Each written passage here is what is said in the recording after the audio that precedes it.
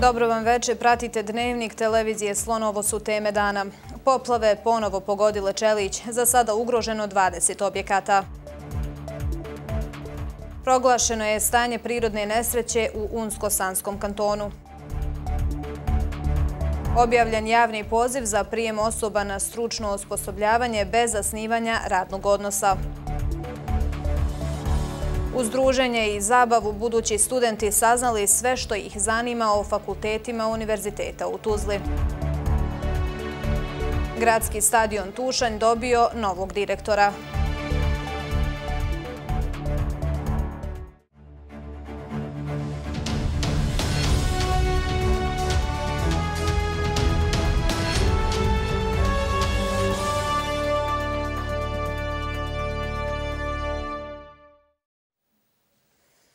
Pratite crno i bijelo. Jake padavine pogodile su općinu Čelić. Službe civilne zaštite trenutno su na terenu, a kako je za radioteleviziju Slon potvrdio načelnik općine, za sada je poplavljeno oko 20 objekata.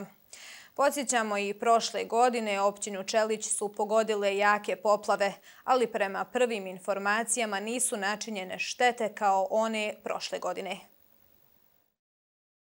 Opasna, recimo, izašla je u Rijeka Oravica, u mjestom zajednici Brnjih, Kukavica i u Čeliću naselje Džihani, sam centar, tako da je upravo sam tu na terenu i opet ima neki puknuti mostova i tako. Izlo je neki 15-20 kuća, evo tu se baš nalazi nasilje Džihani, da vidimo šta moju rad. Civilna zaštita i mašine od pojedinih firma su na terenu. Pa evo, ne možemo tačno znati, ali neki 20-25, evo kad ima informaciju, mjesto zajednici Čelić i Lukavica, to je naselje Džihani i jedan dio samog centra Solića. Proglašeno je stanje prirodne nesreće u Unsko-Sanskom kantonu.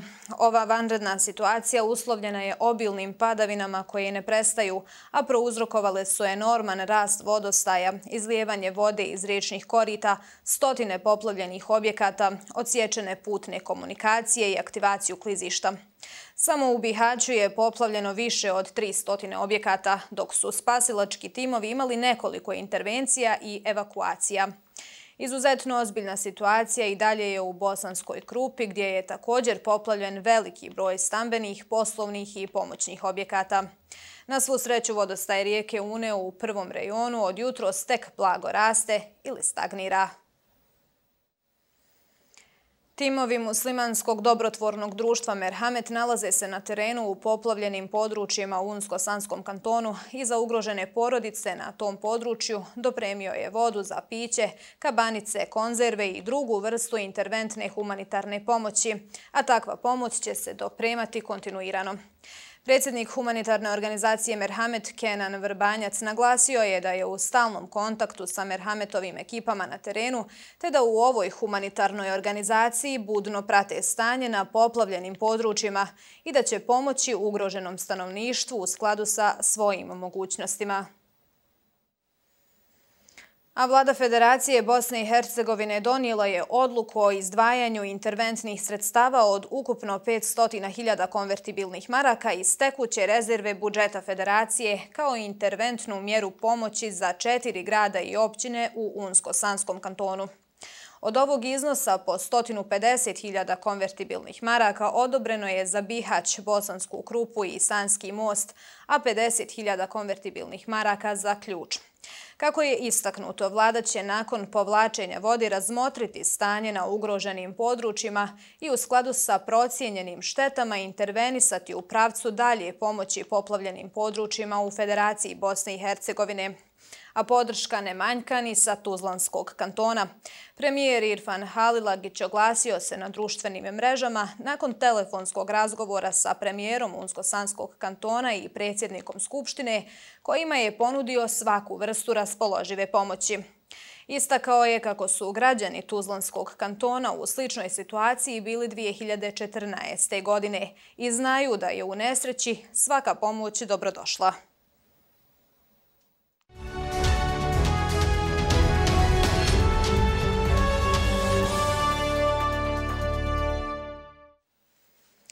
Evropski komesar za proširenje Oliver Varhelji sa predsjedavajućom vijeća ministara Bosne i Hercegovine Borjanom Krišto dopredsjedavao je političkim forumom na visokom nivou upriličenom u Sarajevu, nakon kojeg je rečeno da je iskazana jasna spremnost za ispunjavanje reformi za evropske integracije.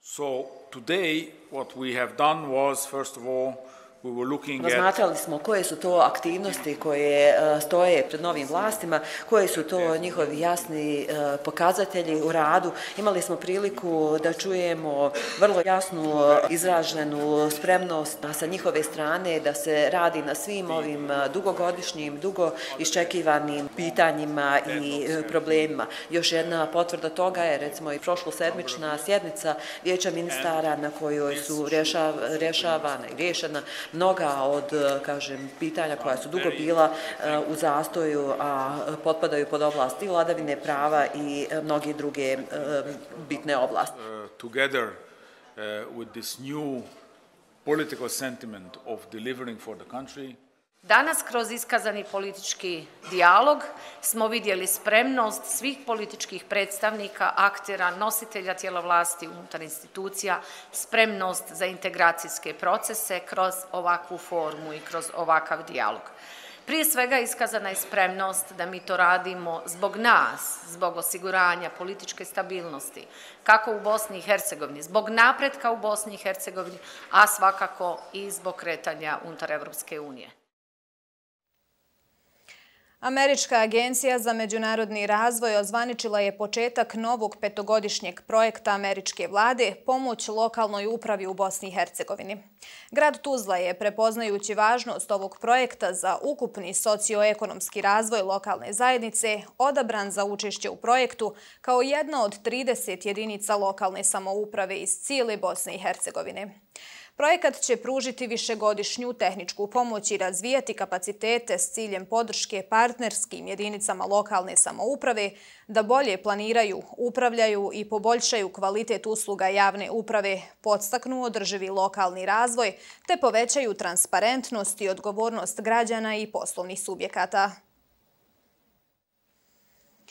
A grad Tuzla je objavio javni poziv za prijem osoba na stručno osposobljavanje bez zasnivanja radnog odnosa u službe za upravu i stručne službe grada. Prijem osoba na stručno osposobljavanje bez zasnivanja radnog odnosa vrši se na određeno vrijeme u trajanju najduže do 12 mjeseci. Javni poziv ostaje otvoren 15 dana od dana objavljivanja na službenoj web stranici grada Tuzle. U Tuzli je počelo sa radom psihološko savjetovalište za mlade. Svake srijede u periodu od 12 do 14 sati mladi će imati priliku sa psiholozima razgovarati i pokušati riješiti te gobe i probleme.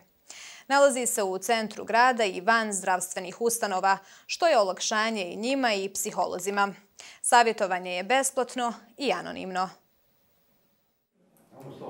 Psihologinja Vildana Zrnanović-Hasanović u dosadašnjem radu u Centru za socijalni rad uvidjela je da su problemi mladih širokog spektra, imaju mentalne tegobe, poteškoće u porodici, sa vršnjacima, a susreću se i sa izazovima u društvu.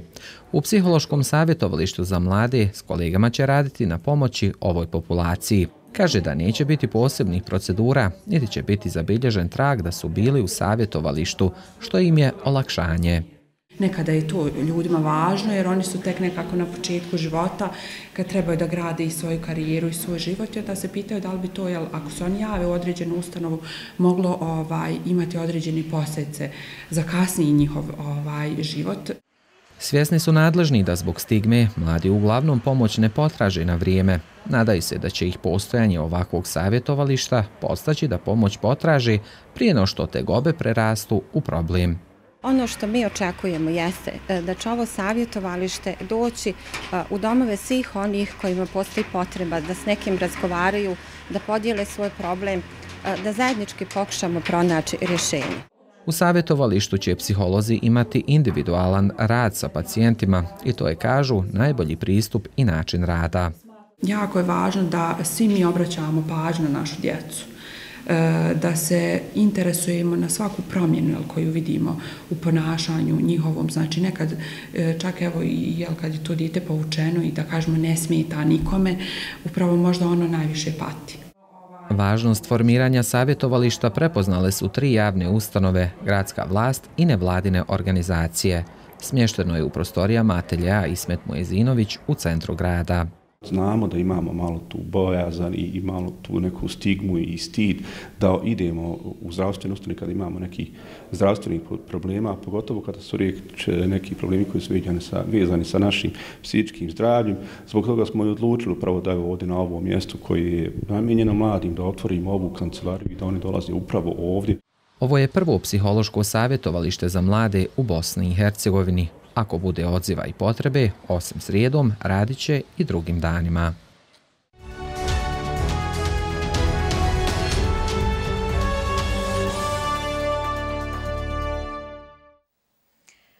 Maj je mjesec matura, maturskih rastanaka završetka jednog perioda života.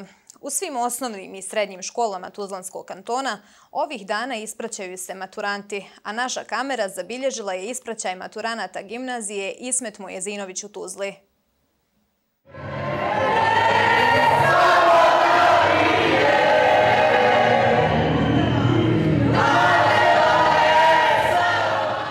Uz pjesmu, smijeh, zvuk pištaljke, potpisivanje na majice, ali i uz suze, maturanti gimnazije Ismet Mujezinović proveli su svoj posljednji dan u školi. Tačku na srednjoškolsko obrazovanje stavilo je 70 učenika, čime su završili jedno životno poglavlje, kojeg će se, kako kažu, rado sjećati. Ja se osjećam i sretno i tužno istovremeno. Jako nam je lijepo, prve ćemo danas jako lijep dan, ali ostaju iza nas četiri godine prijateljstva, druženja, ljubavi, učenja i jako mi je žao rastajemo, naravno. E, mislim da ću zauvijek pametiti svoje drugare koji su sve četiri godine bili tu uz mene. Kao cijela generacija i razred, prošli smo dosta stvari, Ovaj, danas je to prilično euforično, proslavlja se sve ovo što smo svi zajedno prošli. Nadam se da ćemo se i u narednom periodu svi sastajati ovako i družiti se. Jako sam zadovoljna zbog svega što sam proživjela i naučila u ovoj školi. Iskreno, jedno predivno iskustvo. Pomješana osjećanja pokazali su i profesori, posebno razredne starješine. Iako je za njih ovo jedna u nizu generacija, svaka od njih ostavlja poseban utisak i iskustvo. A tako je, kaže profesorica Mirha Stjepić, i sa ovom generacijom. Jedna divna generacija, jedno divno iskustvo suradnje s učenicima i učenicama naše, naših maturanata, kao i sa njihovim roditeljima. Dakle, ovo je još jedan ispraćaj, još jedno lijepo životno iskustvo, e, divan je rad sa mladim ljudima, e, ovaj posao je divan i naravno e, da bismo ga odrađivali onako kako to treba, prvenstveno mora da se voli. Izazova u novom životnom poglavlju imat će mnogo, a većina ovih mladih ljudi već ima jasne želje i ambicije. Svjesni političko-ekonomske situacije u Bosni i Hercegovini koja nije sjajna, većina ih svoju budućnost ne vidi ovdje. Moji dalji planovi su fakultet, ali vani, ne ovdje. Zato što želim nešto što ovdje ne postoji. Želim neku bolju budućnost, želim nešto što ću biti ja, da se ne moram pretvarati, da mogu raditi ono što želim i zato sam odlučila da idem vani, a ne da ostajem ovdje. Planiram se školovati, naravno, nastaviti školovanje, međutim, e, vidjet ćemo kako će sve teći, možda ovdje, možda u inostranstvu, još uvijek ćemo vidjeti. Žao mi je ostaviti ovdje domovinu, prijatelje, ali eto, jednostavno, možda bude neka bolja šansa u inostranstvu. Za razliku od Andreje i Zerine, Amar svoju budućnost ipak vidi u Bosni i Hercegovini, ali kao političar. Najviše e, nadje polažem u pravo da ću upisat, e, obzirom da kao mlada osoba imam neku e, želju da se bavim politikom i ovaj, to je vjerovatno jedan od najprimarnijih ciljeva mojih. Zato što se nadam promijeniti neko stanje u, u zemlji i nadam se da ću ja biti pošteniji i pravedniji kao političar nego neko drugi. A političarima koji trenutno vode ovu zemlju, poruke su uputili natpisima na majicama, a osmijesi i dobro raspoloženje ovih mladih ljudi još jednom je podsjetilo da svijet ostaje na njima, te da treba sve učiniti da se taj osmijeh ovdje i zadrži. Završetak srednje škole svima teško pada. Nekima zbog promjene sredine i društva, a nekima zbog nedoumice koji fakultet upisati. Oni koji još uvijek nisu sigurni čime se žele baviti u životu, imali su priliku na manifestaciji koju je za njih organizovao Univerzitet u Tuzli saznati sve što ih zanima o fakultetima, a usput se i dobro zabaviti. Maturantica gimnazije Meša Selimović Azra Musić od uvijek je znala što želi raditi u životu. Posebno je zanimaju prirodne nauke i programiranje, pa zbog toga želi upisati fakultet elektrotehnike. Iako sa blagom dozom straha od novih izazova, Azra svjesno korača ka svom cilju da postane programerka.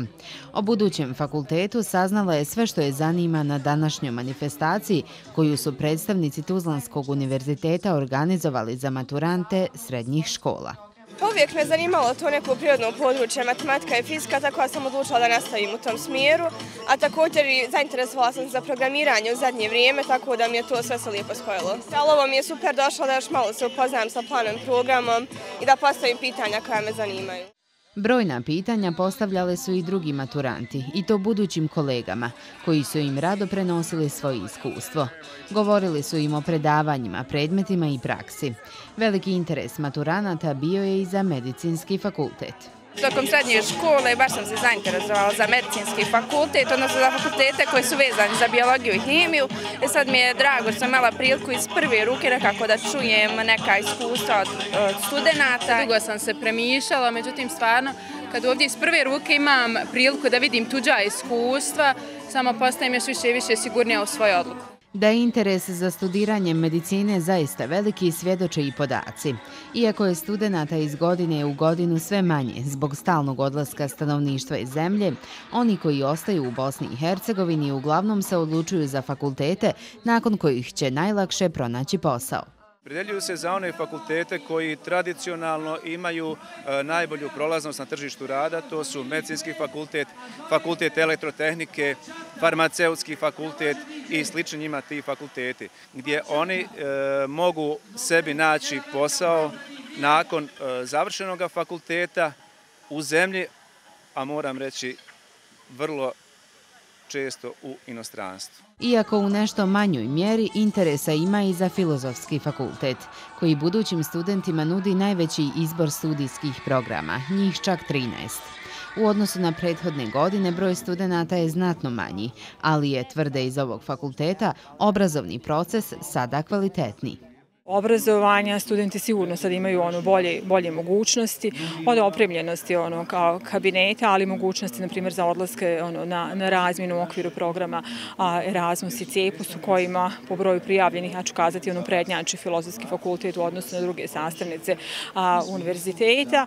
Ovakva manifestacija privukla je veliki broj budućih studenta, s obzirom da je organizovana u prirodi, u krugu kampusa univerziteta. Budući, ali i sadašnji studenti su, osim razmjene iskustava, zajedno učestvovali i u sportskim takmičenjima, a poneki su i zaplesali. Ajmo, može ispred još malo!